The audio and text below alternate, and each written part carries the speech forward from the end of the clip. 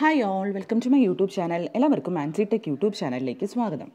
നമ്മുടെ Kerala P S സിയുടെ junior instructor arithmetic cum drawing notification വന്നിട്ടുണ്ട്. Category number zero zero six bar രണ്ടായിരത്തി ഇരുപത്തിരണ്ട് വന്ന നോട്ടിഫിക്കേഷനാണ് ഓക്കെ മാർച്ച് മുപ്പതാണ് ലാസ്റ്റ് ഡേറ്റ് വരുന്നത്. സോ എല്ലാവരും തന്നെ ഇതിനെ ക്വാളിഫൈഡ് ആയവർ അതായത് ബി ടെക്കിൽ ഏത് സ്ട്രീം പഠിച്ചവർക്കും ഈ ഒരു എക്സാം അപ്ലൈ ചെയ്യാൻ പറ്റും. ഇലക്ട്രിക്കൽ ഇലക്ട്രോണിക്സ് സിവിൽ മെക്കാനിക്ക് അതുപോലെ തന്നെ ഏത് ബി ടെക് ഏത് സ്ട്രീം പഠിച്ചവർക്കും ഇലക്ട്രോണിക്സ് ആൻഡ് ഇൻസ്ട്രുമെന്റേഷൻ എല്ലാം തന്നെ ഇവർക്ക് ഈ ഒരു പോസ്റ്റിനെ അപ്ലൈ ചെയ്യാൻ പറ്റും. അതുപോലെ തന്നെ ഐ ടി ഐ ടി കഴിഞ്ഞവർക്ക് വിത്ത് ത്രീ ഇയേഴ്സ് എക്സ്പീരിയൻസ് ഉള്ളവർക്കൊക്കെ ഈ ഒരു പോസ്റ്റിനെ അപ്ലൈ ചെയ്യാൻ പറ്റും. ഓക്കെ അപ്പോൾ എല്ലാവരും തന്നെ അപ്ലൈ ചെയ്തിടൂ. കഴിഞ്ഞ വർഷം ഇതിന്റെ നൂറ്റി ഒൻപത് വേക്കൻസിയാണ് പോയിട്ടുള്ളത്. വേക്കൻസി എല്ലാം റിപ്പോർട്ട് ചെയ്തത് റിക്രൂട്ട് ചെയ്തിട്ടുള്ളത്. ഈ പ്രാവശ്യം നിങ്ങൾക്ക് മൂന്ന് വേക്കൻസി അവർ റിപ്പോർട്ട് ചെയ്തിട്ടുണ്ട്. എന്നാലും നമുക്ക് വേക്കൻസീസ് ഇൻക്രിമെന്റ് ഉണ്ടാവും. ഇരുപത്താറും പുതിയ നമ്മുടെ I T I I T I T I T സ്ഥാപനങ്ങൾക്ക് പുതിയ സ്ഥാപനങ്ങൾ വരുന്നുണ്ട്. ഇരുപത്താറ് പുതിയ സ്ഥാപനങ്ങൾ ഐ ടി സ്ഥാപനങ്ങൾ പുതിയ സ്ഥാപനങ്ങൾ വന്നിട്ടുണ്ട്. അതിന്റെ സർക്കുലറൊക്കെ വന്നിട്ടുണ്ട്. അതുകൊണ്ട് നമുക്ക് വേക്കൻസീസ് ഒക്കെ ഇഷ്ടംപോലെ പ്രതീക്ഷിക്കാം. സോ നിങ്ങൾ ഈ ഒരു ട്രേഡിന് പഠിച്ചതിന് ഈ ഒരു ട്രേഡ് അതായത് നമുക്കറിയാം ഈ ഒരു ട്രേഡ് പഠിപ്പിക്കുന്നവരുണ്ട്. അതായത് ഈ ഒരു ട്രേഡ് എന്ന് പറയുമ്പോൾ ഒരു പ്ലസ് ടു ലെവലാണ് പ്ലസ് ടു ലെവൽ അതുപോലെ ഗ്രാഫിക്സ് ആ ഒരു ലെവലാണ് വരുന്നത്. അപ്പോൾ ഒന്ന് അച്ചടക്കത്തോടെ അതായത് ചിട്ടയോടെ ഇരുന്ന് നിങ്ങളുടെ ആ ഒരു സിലബസ് ഓറിയന്റഡ് ആയിട്ട് പഠിക്കുകയാണെങ്കിൽ ക്രാക്ക് ചെയ്യാൻ പറ്റുന്ന ഒരു എക്സാമാണ് നിങ്ങൾ പാരലായിട്ട് പഠിക്കുക നിങ്ങൾ വേറെ എക്സാം പല എക്സാംസിനും പ്രിപ്പയർ ചെയ്യുന്നുണ്ട്. സബ് എഞ്ചിനീയർ അതുപോലെ തന്നെ ഇലക്ട്രിക്കൽ സ്റ്റുഡൻസ് ആണ് സബ് എഞ്ചിനീയർ ഇലക്ട്രോണിക്സ് ആണെങ്കിൽ പല എക്സാംസ് ജൂനിയർ ഇൻസ്ട്രക്ടർ അങ്ങനെ പല എക്സാംസിനും പ്രിപ്പയർ ചെയ്യുന്നു. സിവിൽ ആണെങ്കിൽ അവർക്കും കുറേ എക്സാംസ് ഉണ്ട്. മെക്കാനിക്കലാണെങ്കിൽ ഇഷ്ടംപോലെ എക്സാം എക്സാംസ് വിളിച്ചിട്ടുണ്ട്. അപ്പോൾ അവരെല്ലാം പ്രിപ്പയർ ചെയ്യുന്നുണ്ട്. അപ്പോൾ നീ ആ ഒരു എക്സാമിന്റെ കൂടെ നിങ്ങൾക്ക് പാരലായിട്ട് പഠിച്ചു പോകാൻ പറ്റുന്ന ഒരു ട്രേ എക്സാമാണ് ഇത്.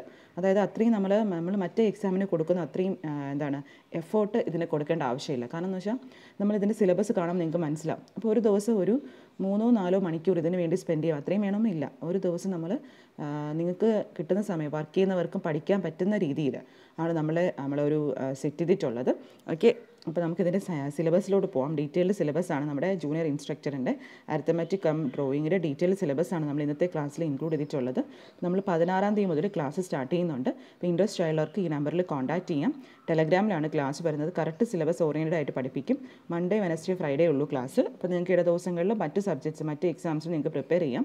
ഒരു ദിവസം ഒരു വീഡിയോ ക്ലാസ്സും അതിന്റെ പി ഡി എഫ് നോട്ട്സും അതിൽ നിന്ന് വരുന്ന ക്വസ്റ്റ്യൻസും അങ്ങനെയാണ് നമ്മൾ സെറ്റ് ചെയ്തിട്ടുള്ളത്. ഓക്കെ അപ്പോൾ കറക്റ്റ് അപ്ഡേറ്റ് ആയിട്ട് പഠിച്ചു പോകും. വളരെ സിമ്പിളാണ് മൊഡ്യൂളൊക്കെ വളരെ നമുക്കൊന്ന് സിലബസ് ഓറിയന്റ് ആയിട്ട് ഒന്ന് പഠിച്ച് നോക്കൂ. നിങ്ങൾക്കത് ക്രാക്ക് ചെയ്യാൻ പറ്റും ഈ ഒരു എക്സാം ഫസ്റ്റ് മൊഡ്യൂളിൽ വരുന്നത് unit fractions unit classification of unit system different units ഉണ്ട്. അതിന്റെ classifications fundamental derived unit F P S S E G S M K S S I units ഇതൊക്കെയാണ് പറയുന്നത് പിന്നെ അതിന്റെ മെഷർമെന്റ് യൂണിറ്റ്സും കൺവേർഷൻസും H C M L C M നമ്മൾ plus ടുവിനും അതുപോലെ തന്നെ ടെൻത്തിലൊക്കെ പഠിച്ചിട്ടുണ്ട്. എച്ച് സി എം എടുക്കുന്ന എൽ സി എം എടുക്കുന്ന. അതിന്റെ problems just fractions addition subtraction multiplication division പിന്നെ ഡെസിമൽ ഫ്രാഷൻസ് നമുക്ക് എന്താണ് solving problems by using calculators addition subtraction multiplication and division solving problems using calculator ഇതാണ് നമ്മുടെ ഈ ഒരു ഫസ്റ്റ് മൊഡ്യൂൾ വരുന്നത്. രണ്ടാമത്തെ module square root root and proportion percentage okay square root കാണാനും അതുപോലെ തന്നെ സിമ്പിൾ പ്രോബ്ലംസ് അത് റിലേറ്റ് ചെയ്ത് വരുന്ന. പിന്നെ പൈതകോറസ് തിയറം അപ്ലൈ ചെയ്ത് വരുന്ന സിമ്പിൾ പ്രോബ്ലംസ് അത് നമ്മൾ പഠിച്ചിട്ടുണ്ട്.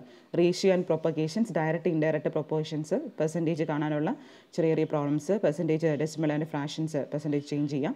ഇതൊക്കെയാണ് മൊഡ്യൂൾ ടൂവിൽ വരുന്നത്. മൊഡ്യൂൾ ത്രീയിൽ മെറ്റീരിയൽ സൈറ്റ്സ് അതായത് types of metals types of ferrous non ferrous metals മെറ്റൽസിന്റെ തന്നെ പ്രോപ്പർട്ടീസ് അതുപോലെ തന്നെ അയൺ കാസ്റ്റ് ചെയ്യണം. അതിന്റെ ഇൻട്രൊഡക്ഷൻ എന്താണ്? അതിന്റെ ഡിഫറൻസ് എന്താണ്? അതിന്റെ പ്രോപ്പർട്ടീസ് റബ്ബർ ടിമ്പർ ഇൻസുലേറ്റ് മെറ്റീരിയൽസിലെ പ്രോപ്പർട്ടീസ് പക്ക തിയറി ഒരു പേപ്പറാണിത് ഓക്കെ വളരെ ഈസി ആയിട്ട് പഠിക്കാൻ എടുക്കാൻ പറ്റുന്നതാണ്.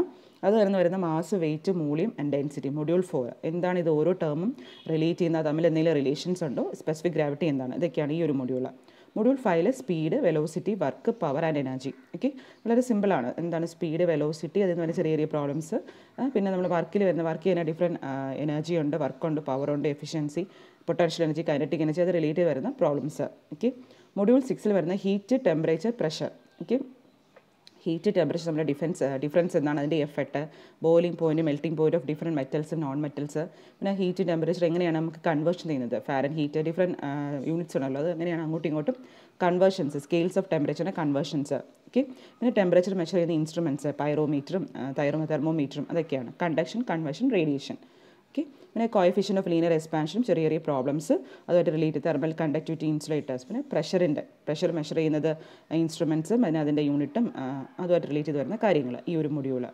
മൊഡ്യൂൾ സെവനിൽ ബേസിക് ഇലക്ട്രിസിറ്റി ഓക്കെ നമുക്ക് ബേസിക് ഇലക്ട്രിസിറ്റി ഇൻട്രൊഡക്ഷൻ ടു അതിന്റെ ബേസിക് ഇലക്ട്രിസിറ്റി അതിന്റെ എന്താണ് magnetic induction electric power ohms law വളരെ സിമ്പിൾ മൊഡ്യൂളാണ് മൊഡ്യൂൾ എയ്റ്റ് മെൻസ്ട്രേഷൻ സ്ക്വയറിന്റെ റെക്റ്റാങ്കിൾ പാരലോഗ്രാമിന്റെ ഒക്കെ ഏരിയ കണ്ടുപിടിക്കുക. ട്രയാങ്കിൾസിന്റെ ഏരിയ കണ്ടുപിടിക്കാം സർക്കിൾ സെമി സർക്കിൾ അതിന്റെയൊക്കെ ഏരിയ കണ്ടുപിടിക്കാം പിന്നെ സോളിഡ്സിന്റെ ഒക്കെ സർഫസ് ഏരിയ മോളിയം അതിന്റെ ചെറിയ ചെറിയ പ്രോബ്ലംസ് കോണിക്കൽ വർക്ക് നമ്മൾ മാത്സിൽ പഠിച്ചിട്ടുള്ളതാണ്.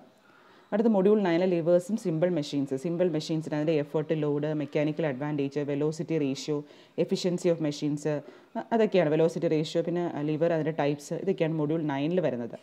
Module ടെൻഡിൽ trigonometry measurement of angles trigonometry ratios trigonometry tables ചെറിയ ഹൈറ്റും ഡിസ്റ്റൻസ് ഒക്കെ വരുന്ന ആപ്ലിക്കേഷൻ ലെവലിലുള്ള ചെറിയ ചെറിയ പ്രോബ്ലംസ് മൊഡ്യൂൾ ലെവലിൽ വരുന്ന നമ്മുടെ ഡ്രോയിങ് ആണ്. ഡ്രോയിങ് പാർട്ട് ടൂവിൽ വരുന്ന ഡ്രോയിങ് ആണ്.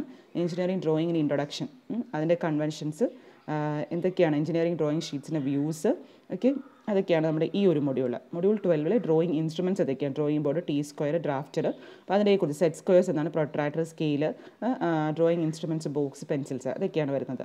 Module തേർട്ടിയിൽ free hand drawing free hand drawing of lines polygons ellipse അതിന്റെയൊക്കെ ഫ്രീ ഹാൻഡ് ഡ്രോയിങ് വരുന്നത്. സോളിഡ് ഫിഗേഴ്സ് അതിന്റെ ക്യൂബ്സ് അതിന്റെ മെഷർമെന്റ്സ് എന്തൊക്കെയാണ് അതിന്റെ ടൂൾസ് എന്തൊക്കെയാണ് ചെറിയ ചെറിയ സിമ്പിൾ ഫാസ്റ്റ്നെസ്സിനെ കുറിച്ചും അത് റിലേറ്റ് വരുന്ന ചെറിയ ചെറിയ എന്താണ് ബോൾട്ട് നെറ്റ്സ് അതിനെക്കുറിച്ചുള്ള കുറച്ച് ക്വസ്റ്റ്യൻസ് അത് നമുക്ക് പഠിക്കാനുണ്ട്.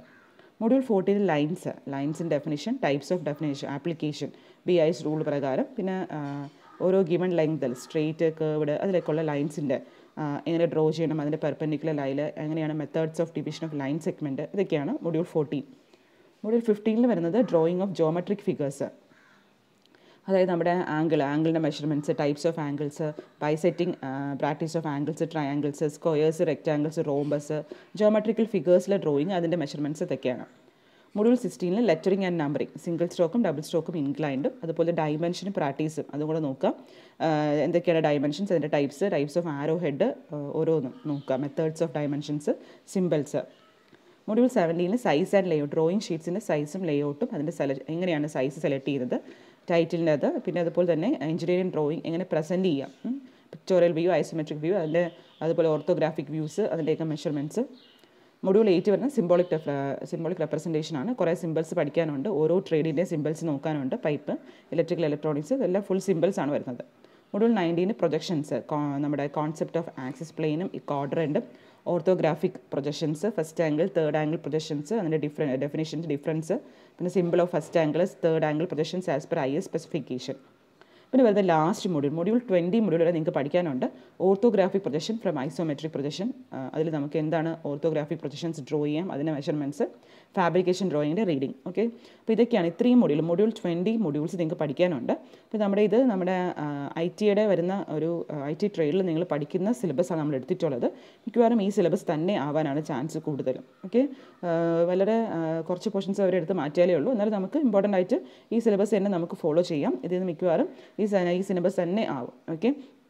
നമ്മൾ നാളെ മുതൽ വെനസ്ഡേ മുതൽ ക്ലാസ് സ്റ്റാർട്ട് ചെയ്യുകയാണ് കറക്റ്റ് അപ്ഡേറ്റ് ആയിട്ട് പഠിച്ചു പോകൂ അപ്പോൾ നിങ്ങൾക്ക് നിങ്ങളുടെ മറ്റ് സബ്ജക്ട്സ് ഒക്കെ പഠിച്ച് നിങ്ങൾക്ക് ബോർ അടിക്കുമ്പോൾ നിങ്ങൾക്ക് കുറച്ച് ഇൻട്രസ്റ്റിംഗ് ആയിട്ടുള്ള ഒരു സബ്ജക്റ്റാണ് ഈ ഒരു സബ്ജക്റ്റ് വരുന്നത്. നമുക്ക് അതിന്റെ പാരലായിട്ട് നമ്മുടെ മറ്റ് സബ്ജക്ട്സിന്റെ കൂടെ അതായത് മറ്റ് എക്സാംസിന്റെ കൂടെ നമുക്ക് പാരലായിട്ട് പഠിച്ചു പോകാൻ പറ്റുന്ന ഒരു എക്സാമാണ് വളരെ ബോറടിക്കത്തില്ല ചെറിയ ചെറിയ പ്രോബ്ലംസ് ഒക്കെ ഉള്ളൂ വരുന്നുള്ളൂ.